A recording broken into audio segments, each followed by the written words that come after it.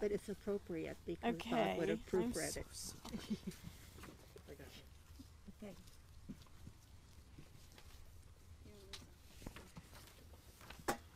It's a little more brisk here than it was at the funeral home. It is a little bit.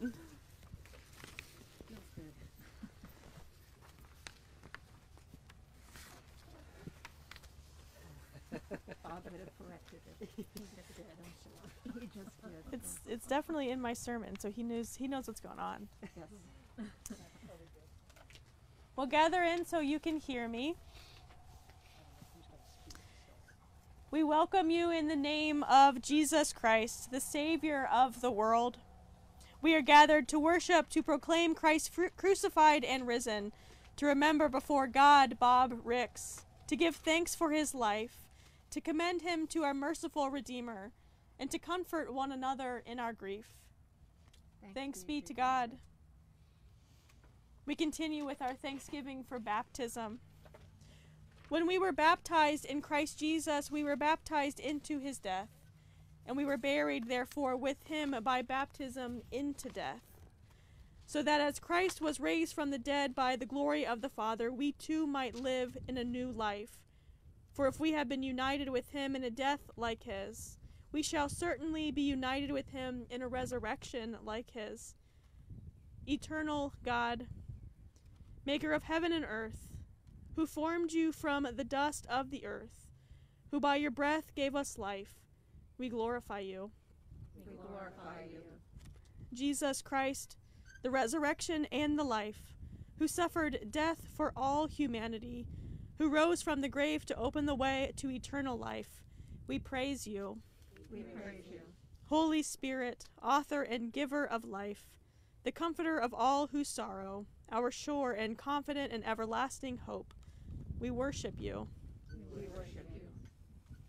I welcome you in the name of the Father and of the Son and the Holy Spirit. Grace of our Lord Jesus Christ, the love of God, and the communion of the Holy Spirit be with you all.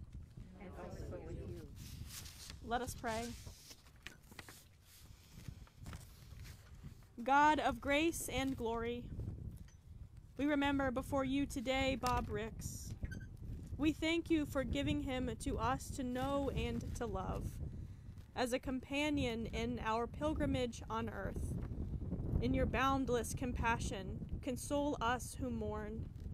Give us faith to see that death has been swallowed up in the victory of Lord Jesus Christ, so that we may live in confidence and hope until by your call we are gathered to our heavenly home in the company of all of your saints. Through Jesus Christ our Lord. Amen.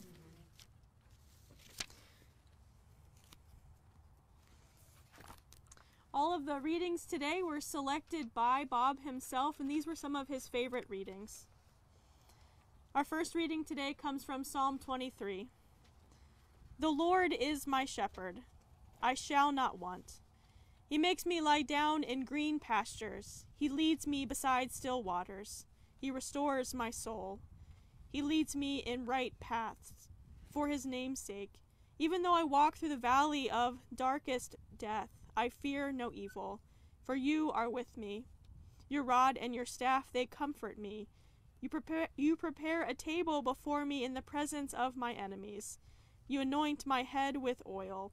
My cup overflows. Surely goodness and mercy shall follow me all the days of my life, and I shall dwell in the house of the Lord my life, my whole life long.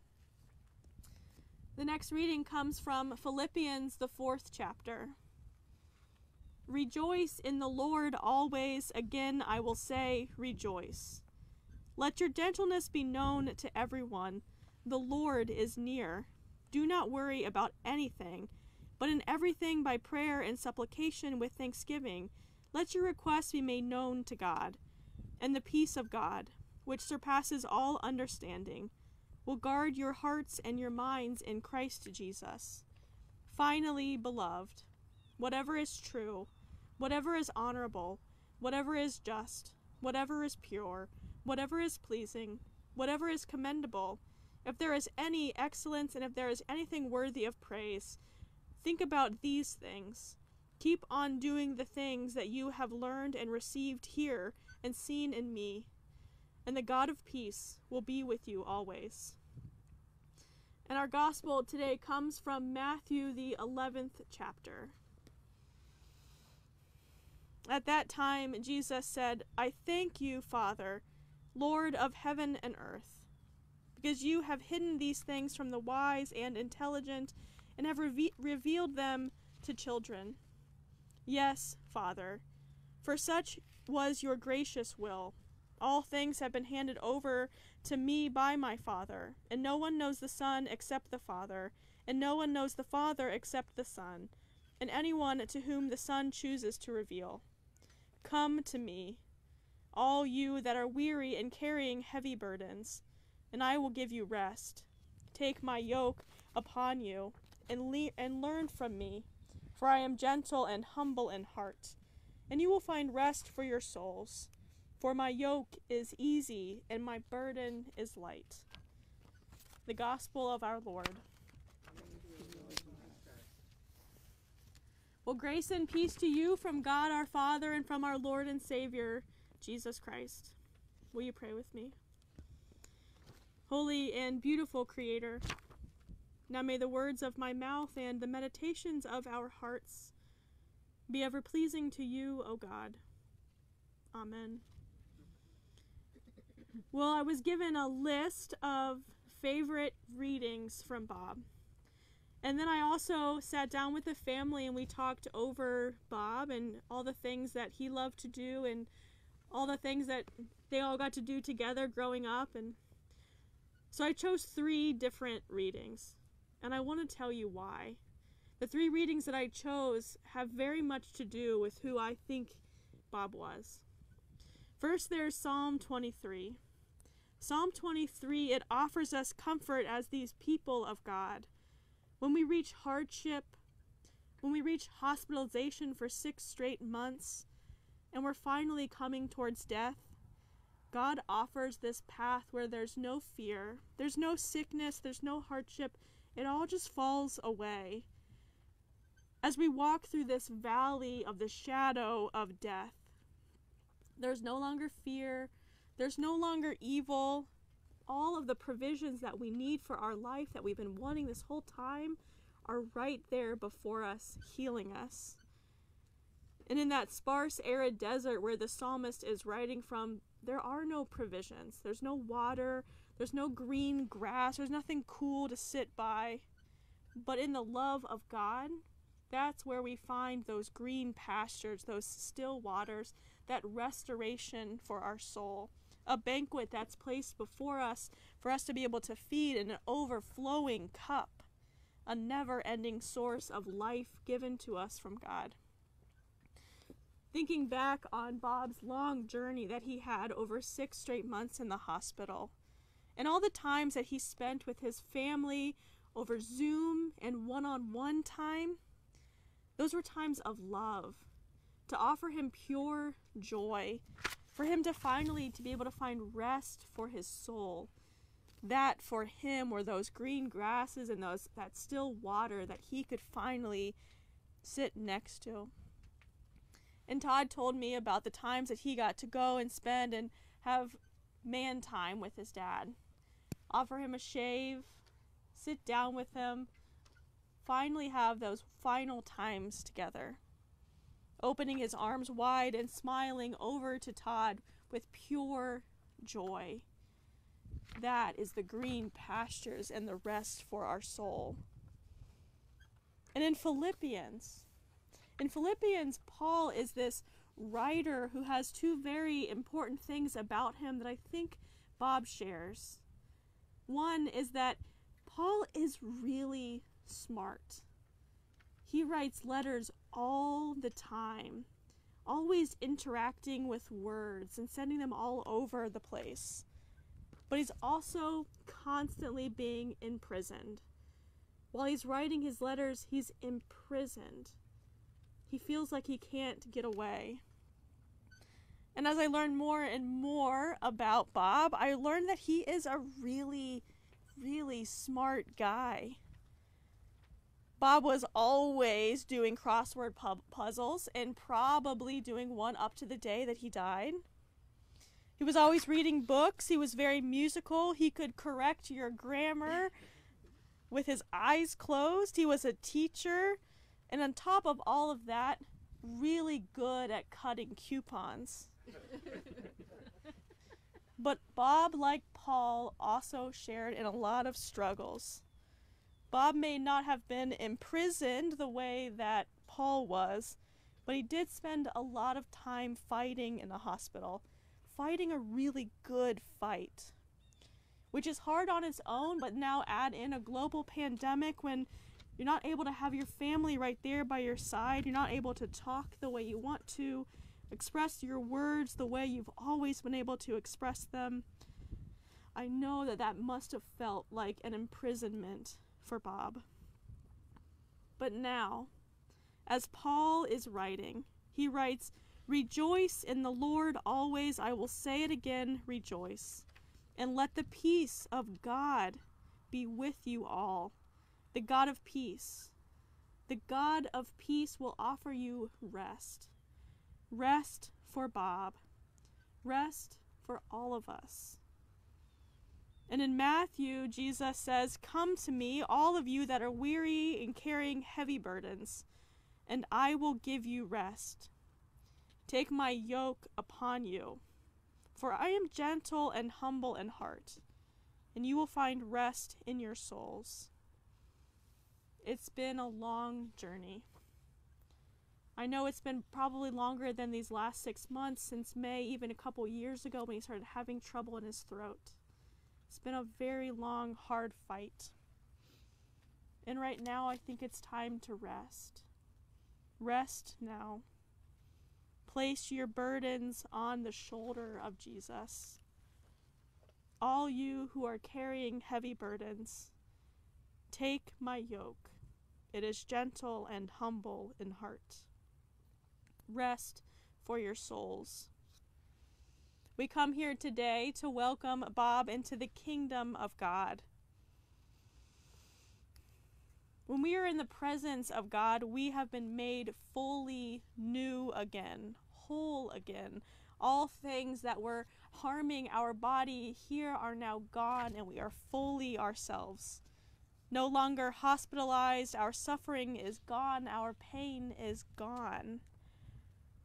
When we are no longer, though, in the presence of our family members, with the ones that we love, and to share that care with them, we are then welcomed into the arms of Jesus, the one who will now become the full time caretaker, who will offer love and arms open with joy, welcoming Bob towards him the way that Bob welcomed you all when you came into his room in the gift of the resurrection, which we celebrate today at the graveside here of Bob Ricks. We celebrate resurrection for all. That living in a life like Jesus, we too may enter into a death and a resurrection like Jesus, where death is only but a pause before we now enter into this new life with God. A life with God where one day we will all meet again. Amen. I'd like to invite the family to come forward to say some words.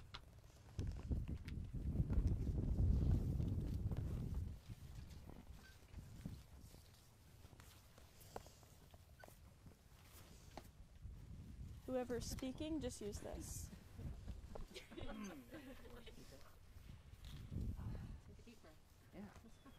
feel like I don't have to talk loudly now.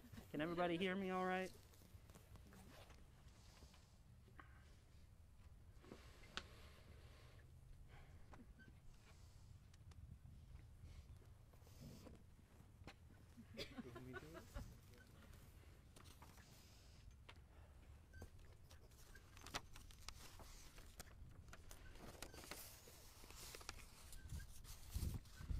Don't think of me as gone away. My journey's just begun. Life holds so many facets. This earth is but one. Just think of me as resting, from the sorrows and the tears. in a place of warmth and comfort, where there are no days and years. Think of how I must be wishing that you could know today. How nothing but your sadness can really go away. And think of me as living in the hearts of those I touched. For nothing is ever lost, and I know I was loved so much.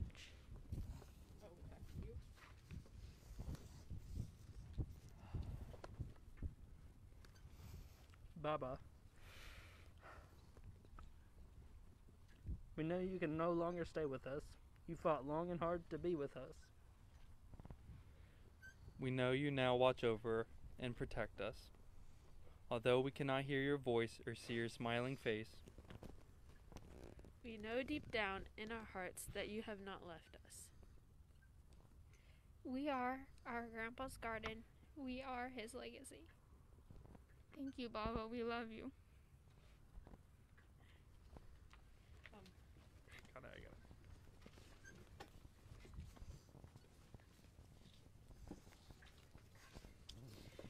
Loved all of you. Thank you. I'm so proud of you guys. So am I. All right. Good afternoon, everyone. Thank you so much for coming. On behalf of my mom and all of our family, thank you for coming here, for being here today to honor and celebrate Dad's life. For those of you who don't know me, my name is Lisa Harger. I'm the eldest, as we like to say. All right. Robert Emerson Ricks. Bob to most. Baba to the grandkids. Bobby to a few. My dad. It's been a roller coaster of a year in so many ways, not just what dad was going through. But since dad was admitted to the hospital in May, we have had many good days. We all sent up a rousing cheer when we were told Dad had been correcting a nurse's grammar. no surprise to anyone who's met him. He did that a lot. The 31 year old English teacher, the 31 year English teacher, was always teaching. We all became very adept at putting ourselves down upon things because trying to use lie and lay correctly wasn't happening. We were thrilled when we found out Dad was starting to do some crossword puzzles, even though the handwriting was shaky. He loved crossword puzzles and was remarkable at word jumbles as well. Mom and I would start them, but he'd always have to finish them. And he could. We had a lot of laughs over Zoom, a lot of tears as well. Dad was an observer, a man of few words. But during this time, he had so much to say due to the trach, even though he was enunciating beautifully, not a daggone one of us could read lips. we tried so hard. He fought so hard for so long. We were so proud of him. We did our best to keep fighting for him. We will be forever grateful that even with the DNR, Dad was resuscitated and gave us the Monday to spend all day with him. We just hang out, just hung out in the hospital room. Hospice was such a godsend. And we all got to be there and we didn't have to have our stupid masks on. Mom, Amy, Jay, Todd, Courtney, Devin, Jordan, myself, Greg, who was there until he had to go back to Indy to pick up Caitlin from school after the bus we're able to be together. We shared memories and collected strength just from being together. We like to think he knew we were there. As it started getting later in the day, and Dad's condition wasn't getting worse, we took a chance on leaving the hospice room. Got some dinner, gave Mom some time to have just a little chat with them. Ah, I can't imagine how that went. I'm sure she told him a thing or two. Devin and Jordan beat us back to the room and had turned the TV on just to give us a little little noise. We watched a little family feud. And then Jeopardy came on, one of Dad's favorites. He was so well read and so intelligent and amazed us all with his vast knowledge of so many topics. It was during Jeopardy that we noticed that Dad's breathing had stopped. It was very peaceful and very apropos. We figured he must have finished up a category, and that was that. Time to move on. I like to think that Dad and is now hanging out with Alex Trebek, who just passed away as well. They're working on some new Jeopardy, categories and questions, and Dad's playing bridge, reading, picking raspberries, and baking pies, listening to music, whistling, entertaining youngsters gone too soon with his Donald Duck imitation, planting the most colorful of flower beds, watching the birds, correcting everyone's grammar, playing the piano, singing a song to fit whatever the situation may be, such as Gray skies are gonna clear up, put on a happy face, and no longer worrying about having a coupon for half off. Over time, we hope memories become treasures rather than blows to the heart. Dad, we know you loved us all. We're so proud of your children and your grandchildren. Thank you for being our dad and all you were to everyone here today. We love you. And gray skies are going to clear up. So put on your happy face.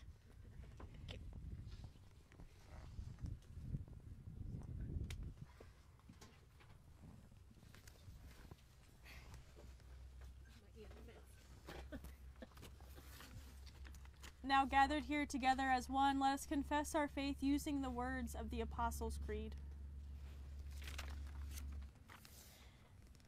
I believe in God, the Father Almighty, creator of heaven and earth. I believe in Jesus Christ, God's only Son, our Lord, who was conceived by the Holy Spirit, born of the Virgin Mary, suffered under Pontius Pilate, was crucified, died, and was buried. He descended to the dead. On the third day he rose again. He ascended into heaven. He is seated at the right hand of the Father, and he will come to judge the living and the dead.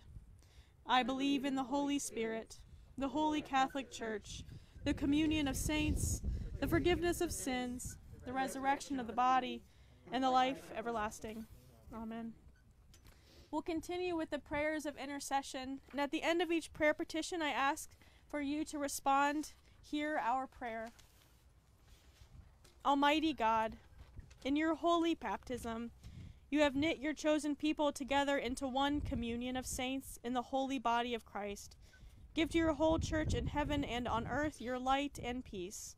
God of mercy, hear our prayer. Grant that all who have been baptized into Christ's death and resurrection may die to sin and rise to share a new life in Christ. God of mercy, Hear our prayer. Give courage and faith to all who mourn, and a sure and certain hope in your loving care, that casting all their sorrow on you, they may have strength for the day ahead. God of mercy, grant to us who are still on our pilgrimage and who walk yet by faith, that there will be a world where, where the world groans with grief and pain your Holy Spirit may lead us to bear witness to your life and light. God of mercy, help us in the midst of things we cannot understand to believe and trust in the communion of saints, the forgiveness of sins, the resurrection of the body, and the life everlasting. Amen.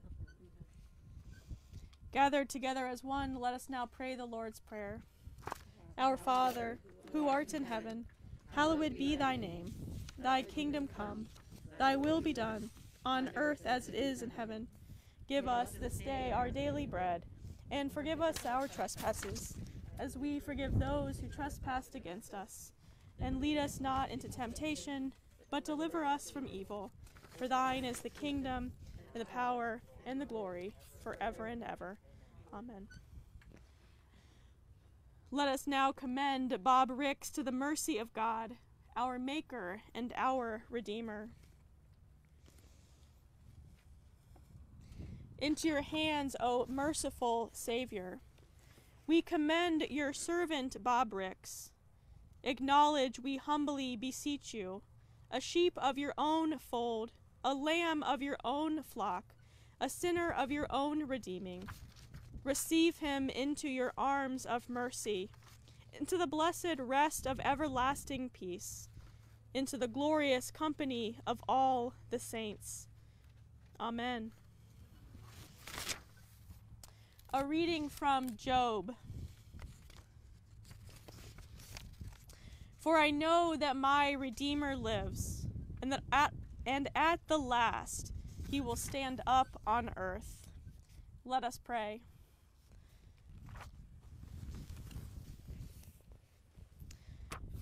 Holy God, holy and powerful, by the death and burial of Jesus, your anointed, you have destroyed the power of death and made holy the resting place of all your people.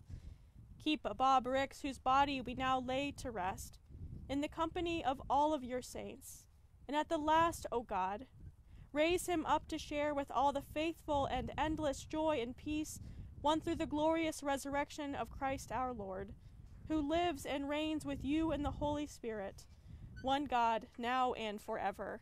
Amen. A reading from 1 Corinthians. Listen, I will tell you a mystery. We will not all die, but we will all be changed in a moment, in the twinkling of an eye, at the last of the sound of the trumpet. For the trumpet will sound, and the dead will be raised imperishable, and we will all be changed. For this perishable body must put on imperishability, and this mortal body must put on immortality. When this perishable body puts on imperishability, and this mortal body puts on immortality, then the saying that is written will be will be true. Death has been swallowed up in victory. Where, O death, is your victory? Where, O death, is your sting? The sting of death is sin. The power of sin is law. But thanks be to God, who gives us victory through our Lord Jesus Christ.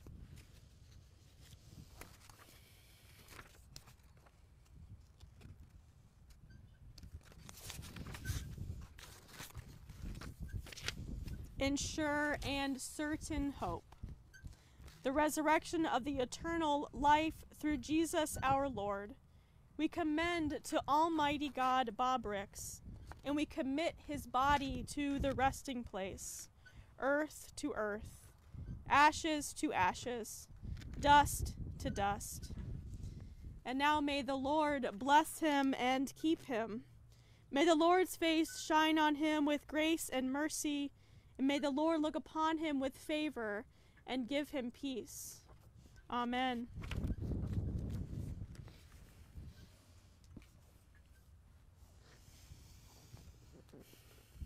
Let us pray. O Lord, support us all on our day long in this troubled life. Until the shadows lengthen and the evening comes, and the busy world is hushed.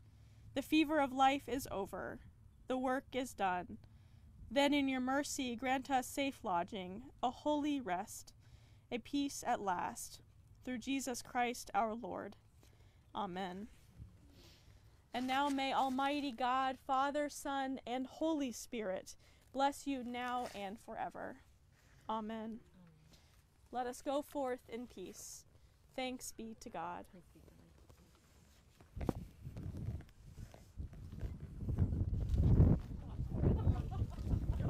Everybody, this does conclude our services here at the cemetery for Bob. Once you've departed, his casket and grave